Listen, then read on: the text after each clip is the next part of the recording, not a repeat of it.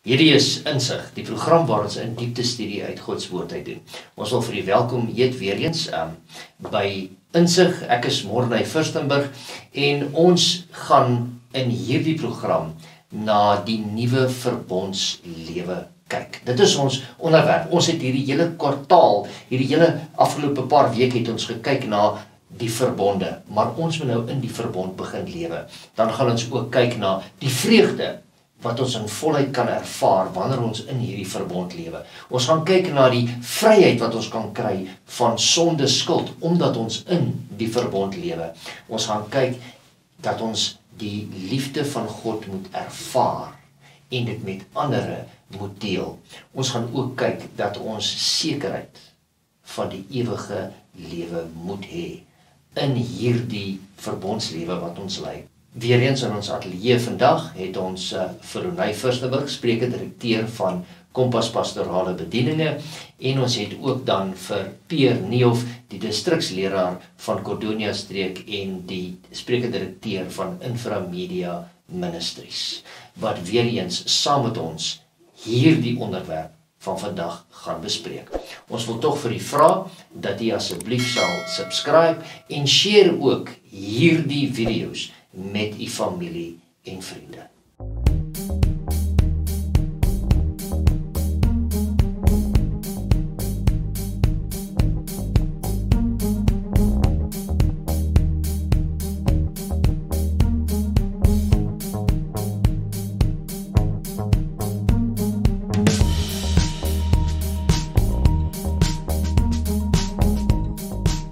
Goeiedag en uh, welkom weer eens. Ons is bly julle is weer eens in die ateljee saam met ons. Dit is die laaste van 'n reeks wat ons nou gehad het oor die verbond. Hmm. En en laasweek het ons gekyk na verbondslewe en dat ons nodig het om volgens die verbond te lewe en geloof moet hê in daai verbondslewe. Nou nou wanneer ek nou in die verbond begin lewe. Ehm um, hoe ehm um, kry ek vreugde? Hoe kan ek vreugde in volheid ervaar as ek in die verbond lewe? Ja, ek dink eintlik is die die vraag seker as ek nou op die regte wêreld is, ek weet nie van julle nie, maar ek lewe in die regte wêreld. Jy sê gewoonlik so. gewoonlik so.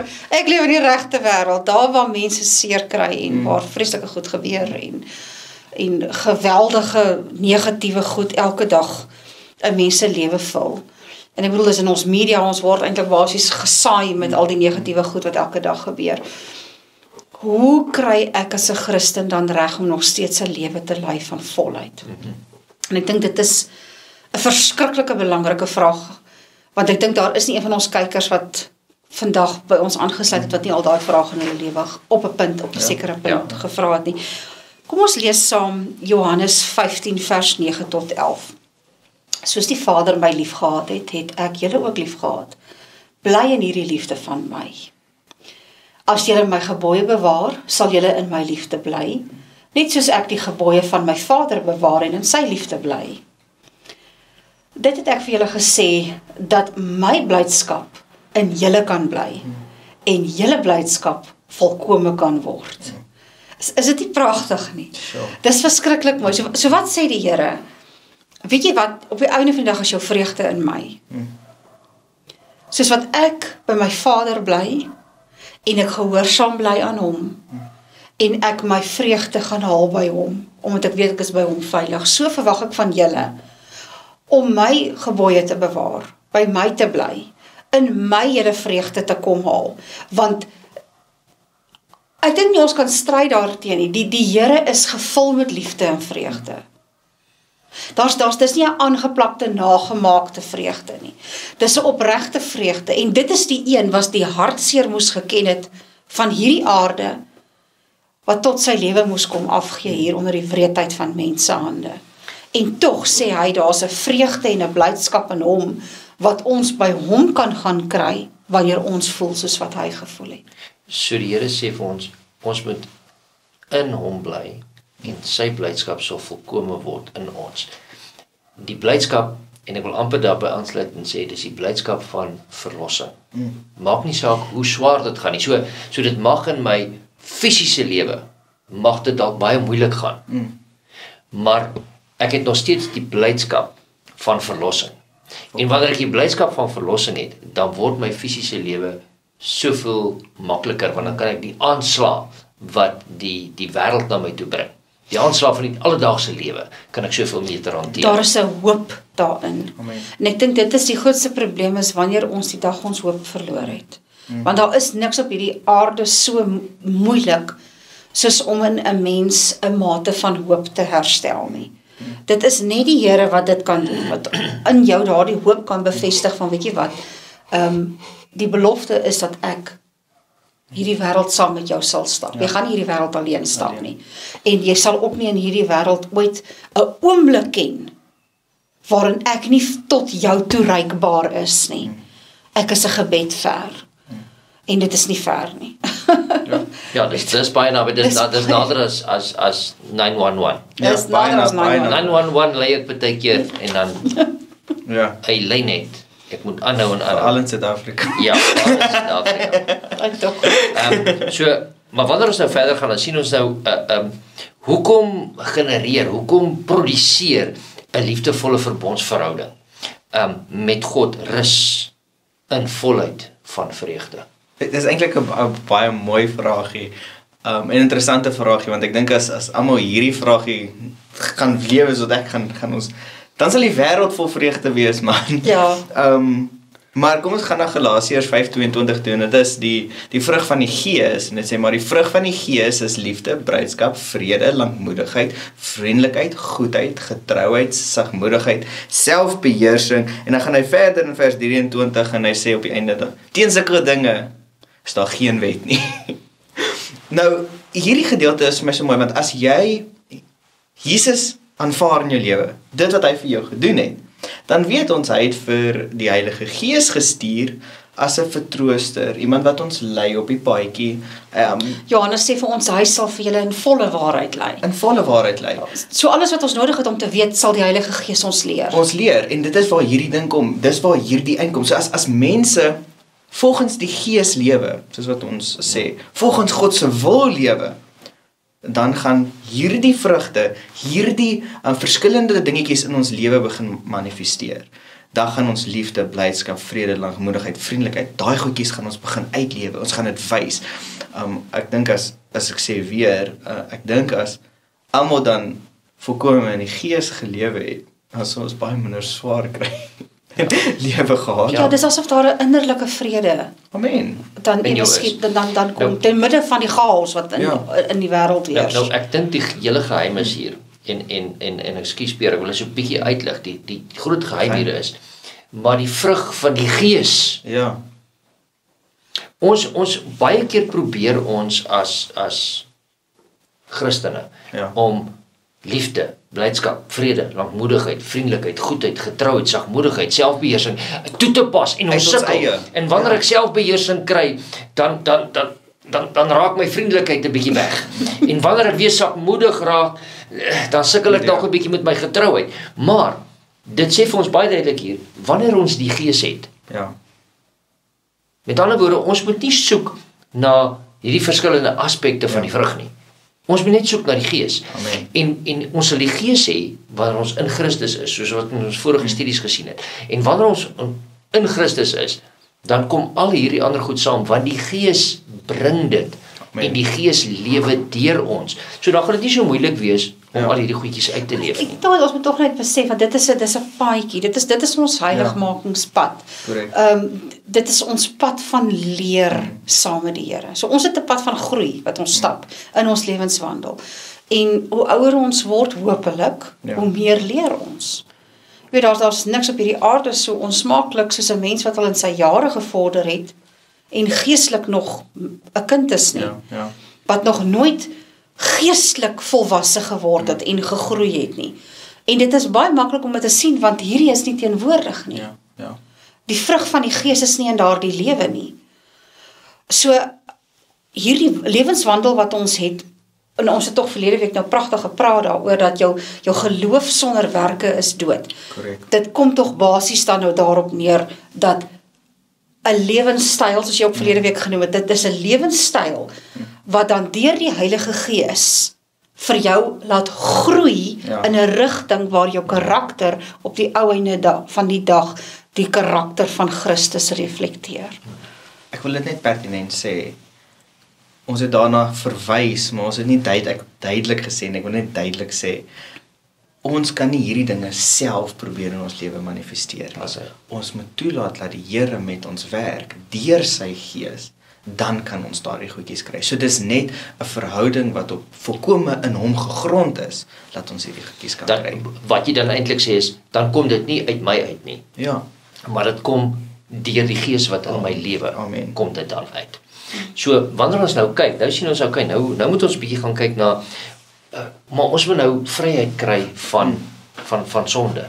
En baie keer, jy weet, ehm um, as ons verkeerd doen, dan uh, voel ons skuldig oor dit wat ons verkeerd doen. Dit is baie ding wat jy nou En- van praat. Jy weet en- daai daai sondeskuld is 'n Dis dis 'n geweldige En en, en wanneer ek verkeerd doen, wanneer ek verkeerd doen, dan wil ek amper myself straf Ja. deur nog verder verkeerd te gaan doen, want ek is dan nou so sleg. In plaas van om vry te raak van die sondeskuld. Nou ek wil een uh, verder gaan en en en ek wil hier lees wat Paulus vir ons geskryf het. Ons is weer by Paulus in sy in sy moeilike goede wat hy vir ons skryf en hy sê daar daar is dan nou geen veroordeling vir die wat in Christus Jesus is nie. Mm. Vir die wat nie na die vlees wandel nie, maar na die gees. Hoe kan hoe kan Paulus so aanname maak wat sê daar's geen veroordeling? Wel as jy nie as jy nie in die sonde wandel nie, dan is daar geen veroordeling nie want die sonde is nie daar Is nie. nie dan nie, ja. Waaroor moet jy dan veroordeel word? Want dis in die gees. Jy's onthou ons het nou die vorige vers gelees het gesê so oomblik wanneer die Heilige Gees in jou lewe ingenooi word. En jy die die Heilige kom ons kyk tog mooi wat is die taak van die Heilige Gees. Kom ons probeer gou dit net eers vasstel. Die Heilige Gees sê ek sal julle lei in volle waarheid. Met ander woorde, hy sal vir jou die verskil leer tussen reg en verkeerd. So daai stemmetjie wat jy uh, jy is nou met 'n dag besig en jou lankmoedigheid, dis 'n vreeslike mooi woord vir geduld, word beproef. Ek weet nie of jy ook sulke dae het wat jy lankmoedigheid beproef word nie, nê. of kom dit net van my oor asseblief julle moet ja sê anders Ek moet ek een gewonder. ding sê, ek hou meer van die Afrikaanse woord lankmoedigheid Moedigheid. as long suffering. Nou toe, ja, ons het almal daai dae waarop daardie lankmoedigheid tot op die uiterste beproef word. Dit is wanneer ek my lewe oorgegee het aan die Here en ek sê Here, elke môre vra ek laat die Heilige Gees my lei in volle waarheid. Dat wanneer daardie moeilike oomblikke kom waar die Heilige Gees intree en hy 'n rustigheid in my bring en vir my help om nie te sondig in daardie moeilike oomblik nie. So dit is 'n dit is 'n 'n groeiproses wat ons nou van gepraat het. So nou is ek onder leiding van die Heilige Gees. Ja. Dan is daar mos nie 'n oordeel van die sonde in my nodig nie. Want ek ek loop dan nou hierdie pad saam met die saam met die Heilige Gees. So ek ek wandel nie na die vlees nie. Die sondes van wat my lig van wat my lewe wil wil outomaties doen. Onderdruk ek deur te, te luister na daardie stem wat vir my sê wat is reg, wat is verkeerd, watter optrede is aanvaarbaar, watter optrede is nie aanvaarbaar nie. So dan wandel ek nie meer na die vlees nie, maar ek wandel na die gees. Nou ek dink ons moet verder ook kyk na uh, Romeine 3 vers 23 en 24 en dit gee vir ons so 'n bietjie 'n verdere uh, leiding wat jy nou net gesê het. Want almal het gesondig en ontbreek hulle aan die heerlikheid van God. Dan word ons almal het gesondig. Almal nie? is gesondig. Ja. en hulle word deur sy genade sonder verdienste geregverdig deur die verlossing wat in Christus Jesus is. En ek dink hier is wat Paulus weerspreek hom nie self nie. In die vorige studie wat ons gehad het, ons gesê hoorie maar ons moet wandel in geloof. En en dan moet ons Christus aanvaar en dit word nie ehm um, dit sê vir ons ons word gered uit genade Korrek. deur geloof. Ja. Hierdie Nie, vers sê nie, nie uit verdienste nie. Ja, maar hierdie vers sê ook vir ons dat daar nie 'n onvergeefbare mens is nie. Mm. mm. Almal het gesondig en dit ontbreek hulle aan die heerlikheid van die God. Die met die verskriklike sondes en die met die minder kyk, on, dis ons net ons as mens wat sondes wil gaan klassifiseer. Sekere sondes is vir ons verskriklik en sekere sondes is vir ons nie so erg So nie. nie. Maar in die oë van die hemel is sonde sonde. Korrek.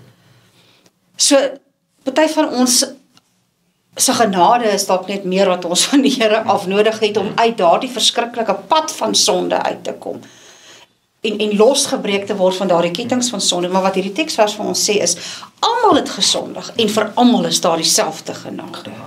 Wanneer ons nou hier kyk en dan sien ons in in 1 Johannes 1:9 nou ek weet Peer is 'n liefhebber van 1 Johannes. Nou, ek ken iemand anders ook wat wat nou verskriklik lief is vir 1 Johannes. Hy's nie hier vandag saam met ons nie. Maar 1 Johannes 1:9 sê as ons ons sondes bely. Mm. Hy is getrou en regverdig om ons die sondes te vergewe uh en ons van alle ongeregtigheid te reinig. Maar hy begin daar as. As Wat sê jy van daai verspeer? Ek, en ek dink dit is waar waar weer hierdie besluit inkom en en die Here het ons dwing ons nie in 'n paadjie af nie. Hy sê nie julle moet nou so maak nie en, en dit is nooit sy intensie om te forceer nie. Hy wil hê ons moet hom dien en ek sê hom dien um uit liefde uit. Dit moet ons besluit wees. Ons wil hom dien en ek dink dis hoekom daai woordjie begin daai gedeelte begin met die woordjie as as jy jou sondes bely. En ek dink dis waar hierdie belangrike waarheid ook nou inkom, want geen sonde is te groot vir die Here om te vergewe nie. Ehm um, hy gooi dit in die diepstes van die see, is 'n ander gedeelte wat wat een van ons profete geskryf het. Dit is nie meer in ons nie. En dit is net die duiwel wat dan daai sondes vir ons probeer uitwys. En dis wanneer ons dan kan terugwys na hierdie vers. Hy vergewe ons sondes. Dit is nie meer met ons nie. Ons Hulle sê dan dan go deep sea fishing. Ja, dankie deep sea fishing. en, en ek dink dis waar ons moet daardie besluit kan maak as daai sondetjies voor ons gehou word, dan kan ons net sê hoor hier. Kan ek gou hier kan ek dalk hier 'n konsep ingooi? Ek dink nie so seer dis altyd die vraag of kan die Here my vergewe nie. Ek dink die probleem is ons kan onsself nie vergewe. korrek.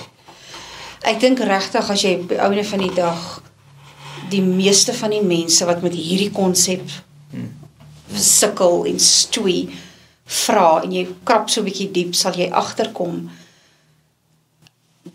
dat hulle hulle lankal besef het die Here het my sonde vergewe. Maar dit is omdat die skuldgevoel in my so swaar is dat dit vir my voel ek is nie die Here se vergifnis waardig nie. En dit veroorsaak 'n in baie opsigte 'n geweldige wanbalans. Want dit sal of mense dan op 'n punt bring waar hulle nie die Here vertroue het in die Here dat hy hulle sondes kan vergewe nie en dat hulle dalk wegdraai van hom af want half dalk voel maar wie ek dink nie ek is die Here se tipe nie. Die Here die Here kan tog nie met iemand soos ek 'n pad loop nie. My sondes is te veel. Of jy kry mense wat weer heeltemal aan die ander kant af afdwaal en allerhande verskriklike boetedoenings ekstra wil doen want miskien miskien is ek dan in die oë van die Here beter as wat ek in my eie oë is.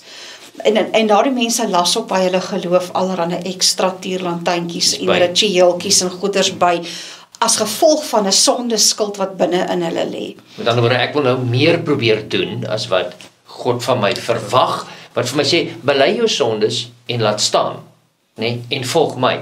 Nou wil ek ekstra goedjies doen en ek wil ekstra dade bysit om om dalk net seker te maak dat ek die Ja, verlossing dan moet ek verdien het. net seker maak die Here het my nou vergewe. En jy weet, die groot probleem is is baie keer dat ander mense my nie vergewe nie, dan het God my al vergewe. Ek het dalk al vir ander mense vergifnis gevra vir vir die ding wat tussen ons gebeur het. Ek het die Here vergifnis gevra. Ek weet ek is oortuig van die Here sê hy is getrou en regverdig. En ek sit nog met hierdie probleem dat ander mense my nie vergewe het nie. Dis nog weer 'n ander konsep daar wat jy meer sukkel. So sondeskuld is 'n 'n tammeletjie wat 'n mens mee sit wat in jouself kan lê of wat in jou omstandighede kan lê en daar gaan moet 'n heling plaasvind in jou en dit begin by die punt waar jy sê die Here het my vergewe. En dan moet ek myself vergewe en wie dan kan jy met alle opregtheid vir iemand anders sê, weet jy wat, maar die Here het my vergewe. Hoe kan jy nie? Dit is dis dis dis dis baie goed want ons moet mekaar ook vergewe.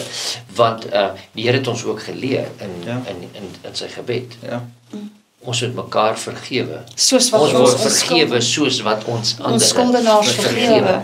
Nou in Johannes 5 vers 24 sê dit die volgende vir ons: "Vir waarvoor waar ek sê vir julle, wie my woord hoor en hom glo, wat my gestuur het, het die ewige lewe en kom nie in die oordeel nie, maar het oorgegaan uit die dood in die lewe. Hierdie vers sê vir ons baie duidelik dat ons moet sy woord hoor en na sy woord luister sodat ons kan oorgaan en wanneer ons die die een wat hy gestuur het wat Christus is God het vir Christus gestuur wanneer ons in hom glo dan het ons die ewige lewe Amen. Met ander woorde dis so eenvoudig soos dit. Maak nie saak wat jy verkeerd gedoen het nie. Jy het dan die ewige lewe wanneer jy in hom glo want dit is die beginpunt. Daarna is dit 'n punt van stap om nader aan hom te kom. Jy weet ons kom nou van ehm um, ons moet nou na die die die die regverdigmaking ons is geregverdig maar nou kom ons op die pad van heiligmaking Ja. op die pad Die groei- wat ons moet stap die groeiproses Maar die groep proses want ons met tog die Here het vir die vrou wat aan sy voete gegooi is, vra gekyk en vir haar gesê, "Ge- ek verdoof ver, veroordeel jou ook nie, maar gaan nou en gaan sondig nie verder Nee, nie." nee, ja. Met ander woorde, daar is 'n voorwaarde aan betrokke. Die Here se vergifnis is onvoorwaardelik word onmiddellik gegee vir die sonde wat ek bely het, maar my lewe is onderstel om te verander. Ja. Ek moet oorwinning kry oor daardie sonde. So Peer, wat sou jy nou vir iemand sê as hulle nou na alles wat ons nou al gesê het en hulle kom net en sê ja, maar ek ek ek is te sondig. Die Here kan my nie vergewe nie. Wel, ehm um, een ding ons kan verwys na na daardie versie weer. Die die Here het jou vergewe as jy na hom gekom het. So ek dink dis die, waar die belangrike ding kom en ek dink dit is miskien moeilik want ons as mense moet dan ons moet sê ons het verkeerd gedoen. So jy moet na die Here toe gaan en sê Here, ek het hierdie verkeerd gedoen. Noem dit by die naam. Um, noem dit by die naam, sê dit want op onthou op hierdie oomblik het daai ding miskien krag oor jou. Uh in ander maniere, mense of ek wil self sê Satan gebruik baie keer daai dingetjie om om 'n uh, hou vas op ons te kry om daai leverage te kry om ons weg van Christus af af te druk. Waar jy noem dit op die naam, gaan na die Here toe, sê dit is my sonde. Die Here sal jou vergewe. En dis nou waar die proses ook kom en ek wou net aanlas wat Tannie gesê het vir ons dan onsself moet ehm um, vergewe. En op die einde van die dag is dit ons besluit. Ehm um, ek het al dingetjies gedoen in my lewe wat ek wat ek oor baie spyt is. Wat ek nie weer wil te gek nie. Almal van ons. Ek dink daar's niemand wat daai ding het nie. Maar om daardie besluit te gemaak het om om te kan weet die Here het my vergewe. Ek is regverdig deur hom en deur daardie besluit te maak kan ek nou aangaan en die vreugde weer kry en dit is hoekom ek 'n predikant is hier waar ek waar ek is om te besef die Here het my vergewe. Daar is 'n werk wat ek moet doen. Kan ek aanlas en sê dit is nie vir jou om die Here tot leenaar te verklaar Nee. nie. Want as jy op 'n punt kom waar jy sê die Here kan my nie vergewe nie, Mm. Dan verklaar jy die Here tot leenaar. Want die Here sê ek is getrou en regverdig en ek sal jou vergewe as jy kom en jy jou sondes voor my bely het. Ek vat dit en ek gooi dit in die dieptes van die see en ek dink nooit weer daaraan nie. Ja, maar jy wil daar So hoekom moet ek heel, ek dink heeltyd daaraan. Die Here dink nie meer daaraan nie. Ek dink heeltyd daaraan. Why are we going deep sea diving? Why are we going deep sea fishing? So op die einde van die dag, ek moet baie baie versigtig Ja. wees dat ek nie God tot leenaar verklaar Ja. Omdat ek sy vergifnis vir my sonde nie wil aanvaar nie. So as, as iemand daarmee sukkel sou ek sê gaan hy sonde, bely jou sondes. Maar ver, vergewe dan ook jouself. En as jy sukkel om jouself te vergewe, Die Here help daarmee ook. die Here help daarmee. Maar as jy sukkel, praat met jou lokale predikant. Laat hy jou 'n bietjie hulp gee om deur daardie goedjies te werk. Um want die Here het jou vergewe. En ek dink ons moet oor daai ding kom dat die Here ons kan kan ons nie Ons nie vergewe vergewe nie. Want die Here vergewe elkeen van ons. Met ander woorde daar is geen sonde wat te groot is Amen. wat die Here nie ja. kan vergewe nie. Die kleinste sondetjie. As ons hom nie bely nie, Mm. kan ons in 'n sonde skuld in laat dompel. Ja. En daarom is dit belangrik vir ons om altyd seker te maak dat ons ons sondes bely en en ek dink jy het dit so vinnig vroeër genoem dat ons sondes by die name noem. Ek sê altyd vir die mense ons het nie eh, en ekskuus vir die Engelse woord, ons het nie in balk gesondig nie. Nee. Jy het nie al jou sondes vanmôre 6 uur gedoen nie. Ja, ja, ja. Jy het hulle gedurende die dag gedoen. Maar vanaand kom ek en ek wil net sê en Here vergewe my my sondes. Dan wil ek 'n balk begin bely. Ja, nou wil ek 'n balk begin bely. Maar maar die Here die Here verwag dat ons dit een vir een vir hom opnoem. Want wanneer ons dit een vir een opnoem, dan begin ons besef wat het ons gedoen en waar faal ons? En dan ehm um, gaan ons meer vra vir die Gees om ons te lei. Nou Net ietsie, ek ek wat ek nou gedoen het is as ek byvoorbeeld as ek op die pad ry en ek raak kwaad, soos regtig kwaad, het ek op die punt gekom dat ek sommer daar en dan vir sê Here, ek het nou baie verkeerd gedoen. Vergewe my. En baie keer is dit op daai oomblik waar jy nie eers saam met die ander persoon was, jy was sommer in die kar gewees, jy gebruik voorwerpe, maar eh, ek het gevoel is doen dit daar en dan. Gaan na die Here toe sê ek was verkeerd. Op daardie manier probeer jy ook dan die gedrag stop wat jy nou net Ja, gedoen het. want as jy dit nie daar stop nie, dan dan dan raak jou gedagtes nog erger teenoor hierdie persoon Ja, ja. of hierdie ding wat nou gebeur het Ja. en en jy bou nog steeds nog meer 'n hemerigheid op of 'n slegte gevoel of wat ook al die geval is. Met ander woorde, so vinnig as wat jy sê Here ek het verkeerd gedoen, nou kan jy nie daarmee aangaan nie. Nou dis Ja, baie jy- goeie dit verander. Ja. Ja, breek die patroon so gou as Ja. moontlik. So, kom ons kyk 'n bietjie. Ons moet die liefde van God ervaar. Heeltemal. Maar ervaar kan nie alleen staan nie. Wanneer ons dit ervaar, wanneer dit Christus se liefde is, dan sal ons dit deel. Ja. Met ander woorde, ek kan dit nie deel as ek dit nie ervaar het nie. Ja. Ek kan nie gee wat ek nie gekry het nie. As ek dit ervaar het, kan ek dit nie deel nie. Met ander woorde, as ek dit nie deel nie, dan het ek dit nog nie ervaar nie. Ek, ek hoop julle Ja, ja. julle julle verstaan wat ek sê. Met ander woorde, die twee gaan saam. Ja. As ek die een wil afsny, dan is die ander ene weg. As ek die een wil bysit, dan moet die ander ene daar wees. Ja, Dit dit dit, dit uh, is nou basies in 'n groot mate 'n deel van my daaglikse getuienis. En ek dink wat mense die groot fout maak is om die idee te hê dat ons moet almal 'n wow getuienis hê. Jy weet, ek sê altyd vir mense, ek het nie 'n getuienis van my valskerm wat nie oopgemaak het nie en toe land ek in 'n hooi meet en ek ek het nie so hoe getuienis van een of ander wonderbaarlike redding uit die van die dood Ja. Ek het dit nie. Ek kan dankie sê dat ek nog nie so ervaring gehad het nie, wil ek aan aan die, die begin. Maar weet jy net om vanmôre vir mense te sê, ehm um, weet jy wat, dit gaan goed met my vanoggend. Weet jy wat, ek ek het gesondheid. Weet jy wat, ehm um, ek ek is dankbaar vir dit wat op my kostafel was vandag. Dis deel van daardie pragtige getuienis en 'n herhaling van die ervaring wat ek elke dag met die Here het. Hmm. Ons moenie wag vir een of ander verskriklike abnormale ervaring voordat Wat ons gebeur nie, die- voordat ons dit begin Die deel. nie. normale ervarings van die dag is ook ervarings. Die feit dat my oë liefde oopgemaak het vanmôre is die genade. van God. So, kom ons kyk 'n bietjie na 'n gedeelte wat hier vir ons uitgebring word in Efesiërs uh, 3 vers 14 tot 15. Dit sê: "Om hierdie rede buig ek my knieë voor die Vader van ons Here Jesus Christus, van wie elke geslag in die hemele en op die aarde sy naam ontvang, dat hy aan julle mag gee na die rykdom van sy heerlikheid, om met krag versterk te word deur sy gees in die innerlike mens. Met ander woorde, wanneer ons moeilikheid kry, sal hy ons versterk deur sy gees en hy sal vir ons krag gee. En dan gaan hy aan en dan sê hy daar vir ons vers 17 tot 18, sodat Christus deur die geloof in julle harte kan woon. Julle wat in die liefde gewortel en gegrond is. Met ander woorde, wanneer ons in sy liefde gewortel is, uh en en en ek weet nie um Ek weet my vrou trek nou nie so baie bossies uit soos ek nie, maar daar's sekere bossies en sekere goed wat in die tuin is wat jy uittrek wat jy net so kan uittrek en dan kom hy uit, maar daar's ander wat se wortelstelsels vassit. En dit is hoe ons in Christus moet wees. Ons moet vas gewortel in die grond wees. En dan sal jy in staat kan wees om saam met al die heiliges ten volle te begryp wat die breedte en lengte en diepte en hoogte is Was dit nie 'n pragtige opsomming van die verbond nie? Ja. en die liefde van Christus te ken wat die kennis oortref sodat jy vervul kan word tot al die volheid van God. En aan hom wat mag het om te doen ver bo alles wat ons bid of dink volgens die krag wat in ons werk.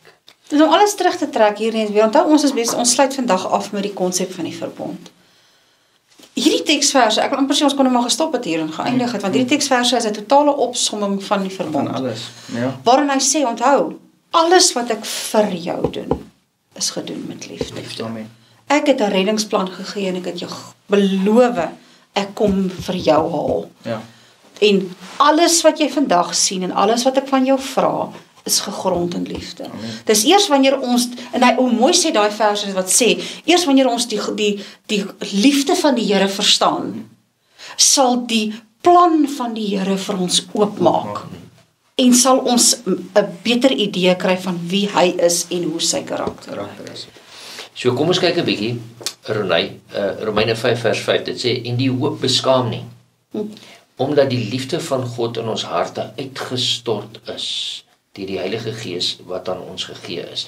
Nou kyk daar dan dan, dan sê mense ja maar ek ek het dalk nie daai jy sê dalk jy het net 'n beskryf van daai valskerm ervaring gehad nie. Hoe word die liefde van God in ons harte uitgestort?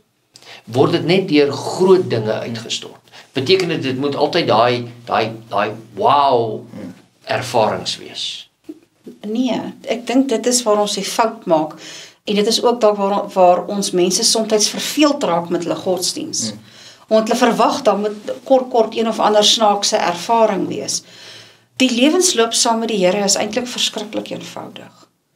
En wanneer ek en jy die dag ons lewens in ons aan die Here oorgegee het en ons het ons totaal beskikbaar gestel vir die inwoning van die Heilige Gees, dan is dit 'n daaglikse lewenstyl. Ja, ja waarin ek saam met die Here groei.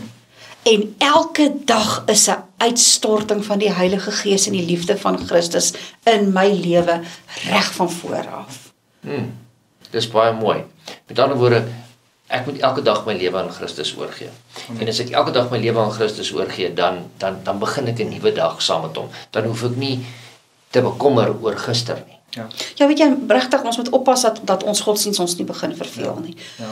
As ons godsdienst ons begin verveel, dan begin ons in ons kerke allerlei snaakse goed inbring ja. om dit moet nou weer interessant gemaak word of dit moet nou weer uh, iets iets moet nie ja. ingedruk word want die mense raak verveeld. Ja. Ek wil amper sê gaan terug na die ou ou tyding. Ja. Herhaal net weer hierdie liefdesbeloftes van die Here en die Here maak daardie vervulling wat hy in jou bring nuut. Nuut. Ja. Ek Paulus skryf ook ek word elke dag nuut gemaak. Soos wat ek in hierdie pad saam met die Here stap. Daar word nog ander waarhede vir ons in die Bybel uitgebring wat ons ook na kan kyk om hierdie die liefde van God te ervaar. Peer, ek wonder of jy iets met ons wil deel daaroor. Maar ek dink ons kan bly na Johannes 7 vers 37 tot 39.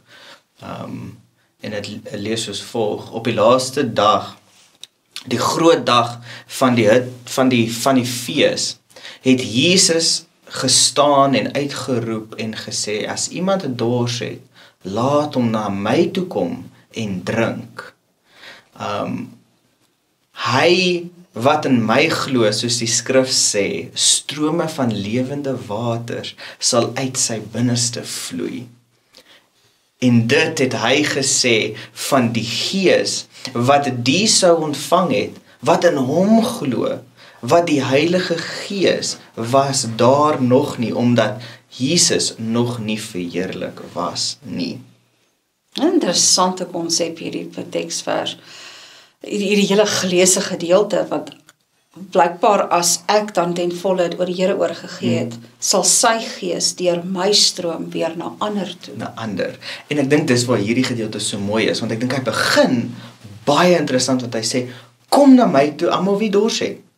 Nou, as jy dors het, as jy na die Here toe hinker, kom na hom toe. Hy sal vir ons water gee. Hmm. Maar hy sal nie net vir ons water gee nie, hy sal dan 'n lewende stroom in ons bewerkstellig. Hy gaan nie drap drap gee nie. Nee. hy gaan 'n fontein in jou veroorsaak. Ja, so met ander woorde, die dors wat hy in jou les, ja, gaan dan 'n stroom van lewende water word. En en ek dink as ons in die begin kyk en sê ons ons het gesê ervaar en saam met deel en deel. En ja. deel. Ja kan ons net doen as ons geervaar het. Amen. En hier kom Christus. Ek kan nie vir vir mense sê hmm Ehm um, ek het al vir Christus vir jare gevolg. Maar ek het nog nooit vir iemand anders vertel ja. net van die goedheid ja. Ja. wat God vir my gedoen het. Met ander woorde, dit is iets wat ek ek, ek kan dit nie terughou nie. Ek, ek moet dit Dis goeie nuus. Ja, ek wil vir ons besef dat aanmoediging en bemoediging is 'n goddelike opdrag. Jy weet in, in Korintiërs sê die Here ek kom weer. Dis 'n pragtige pragtige gedeelte. Ek dink is 1 Korintiërs 4. En dan sê hy gaan en bemoedig mekaar met hierdie woorde. Dis 'n dis 'n opdrag. Ja. Gaan en bemoedig mekaar met hierdie woorde dat ek kom weer. En aanmoediging en bemoediging is die minste wat 'n Christen kan doen. Ja, dit is amper daai wat dit is amper daai wat Paulus sê, dit is jou redelike Redelike godsdienst. Ja. ja. Dis nog nie goed nie. Maar dis jou Dis jou Dit is daarom werklik waar Dis die minste wat jy kan doen. Ek wil amper sê as jy nou vanmôre en ek doen dit baie. Wat ek as ek in die oggende opstaan, ek sê Here, gee my iemand vir wie ek kan aanmoedig vandag. Want ek ek, ek wil tog vir jou sê, maak nie saak waar jy gaan nie. Jy gaan nie tekort hê aan mense wat aanmoediging nodig het nie. Ja, ja. En bemoediging nodig het nie. En daar is niks so wonderlik soos om die Here se naam groot te maak in iemand wat 'n swaar dag en 'n moeilike dag het nie. Amen. Maar daar gaan nog steeds kom dat mense na jou toe gaan kom. En as ons nou 'n bietjie oorstap, dan kyk ons na ons het nou ons moet nou ervaar, Mm. ons moet nou deel, ons moet deel omdat ons ervaar het. Nou kom ons nou maar maar baie keer kom ons in 'n sekere punt van ons lewe en maak nie saak hoe jy lank al daai daai pad gestap het met die Here nie. Baie keer dan wonder ons nog steeds. Ehm um, want ons praat altyd van ons praat van sekerheid en as ons nou praat na die Engelse woord dan sê dit vir ons we we want security. Security. Nee, ons wil daai sekuriteit hê. Mm. Ehm um, hoe hoe het ons sekuriteit van die ewige lewe? Wel, kom ons lees Johannes 11 vers 25 en 26 net eers. Ehm um, Jesus sê vir haar, ek is die opstanding en die lewe en wie in my glo sal lewe, al het hy ook gesterwe. En elkeen wat lewe en in my glo sal nooit sterwe tot in ewigheid nie. En dan pragtig dat hy vir haar sê glo jy dit? Glo jy dit? Interessant nê, dat hy dat hy wil hy bevestiging by haar hê. Mm. Ek het nou vir jou gesê, selfs al sterf jy eendag, as jou geloof in my was, wanneer ek die dag op die wolke weer kom, roep ek vir jou uit die graf uit en sal jy die ewige lewe saam met my hê. Amen. Glo jy dit? Né? Ek dink dalk moet ons 'n slag vir onsself te vra. Glo jy dit? Want dit is waar daai daai sekerheid kom. Want ek dink dis dalk iets wat ons uh, as Christene mee worstel. Is is ek gered of is ek nie gered nie? En jy weet ek, in in die afgelope ruk is dit vir my asof ek kort kort myself moet vra. Weet ek waarvoor ek staan? En ek dink dit is waar jou Christ, jy as Christen se beginpunt is. Dalk moet ek eers sê, weet ek waarvoor God staan? Dis sy verbond. Hmm. Dis sy 10 gebooie. Alles al sy insettinge wat daarmee saamgaan. Weet ek waarvoor God staan? Nou as ek weet waarvoor God staan en ek noem myself 'n Christen, dan moet ek weet waarvoor ek staan. Wel, as ek 'n Christen is, dan moet ek staan vir wat God staan. Waarvoor God? Presies. Ja. Met ander woorde, hier moet nou 'n ooreenkoms wees tussen die twee want want ek wil sy karakter weerspieël. En ek wil in sy in sy pad volg en ek wil daar die dag wanneer ek hom ontmoet, wil ek hê hy moet vir my sê goeie en getroue dienskneg. En weinig was jy getrou tot vele sal ek vir jou inlei. Ek wil hê hy moet vir my sê gaan weg van my af. Ek ken jou nie. Jy wat die ongeregtigheid bewerk het nie. Ek weet nie wie jy is nie. Ja. En dan ek het hom vertel, Here, maak 'n duiwels in u naam uitgedryf, ek het 'n groot ding in u naam gedoen en tog het ek hom nooit geken nie. Die sekerheid van geloof kom daarin. Weet ek waarvoor God staan? Ja. Daarvoor moet ek staan. Ja. Getuig my lewe nou hiervan. Ja. In ander woorde, getuig my lewe van waarvoor waarvoor God staan, wat ek besluit dat ek ook voor staan, getuig my lewe daarvoor. Het ek daardie lewenstyl? As ons nou verder gaan en kyk ons in Johannes 5 vers 28, dan sê dit: Moenie julle hieroor verwonder nie. Want daar kom 'n uur wanneer almal wat in die grafte is, sy stem sal hoor. Amen. Almal wat in die grafte is, sal sy stem hoor. Die wat tot onreg ongeregtigheid gesterf het en die wat in geregtigheid gesterf het. Almal. Almal sal op een die Bybel sê elke knie sal voor hom buig. Elke knie. Maar ons moet ons maar ons moet ons nie verwonder nie. Die Here is getrou en regverdig Amen. en hy sal ons sondes vir ons vergewe. En wanneer ons sonder sonde voor God staan as gevolg van die vergifnis in die bloed van Jesus Christus, dan staan ons getrou, Trou.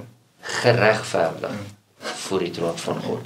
En dan het ons sekerheid in die ewige lewe.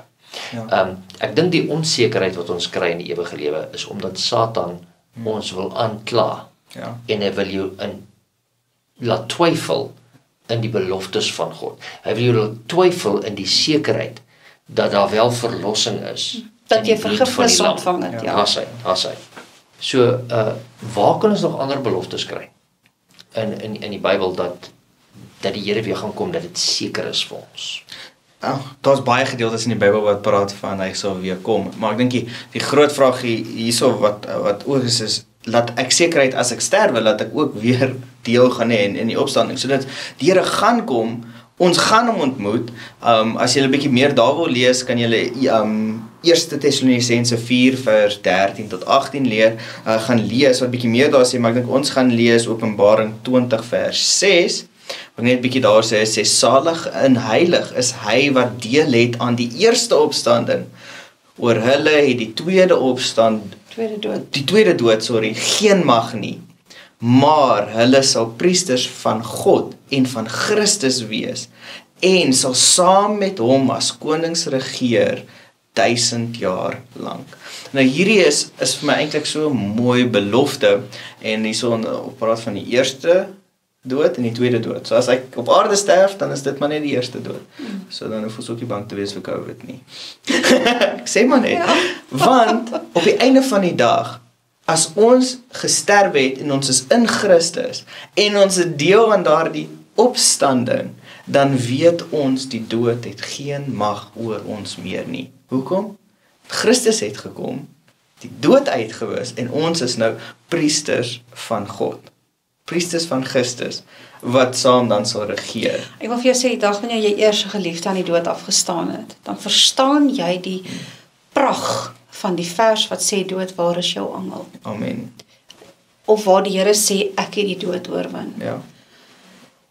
Dit is dit is en dan kan ek hou van die idee dat jy gesê het ons nie eers meer bang vir COVID nie.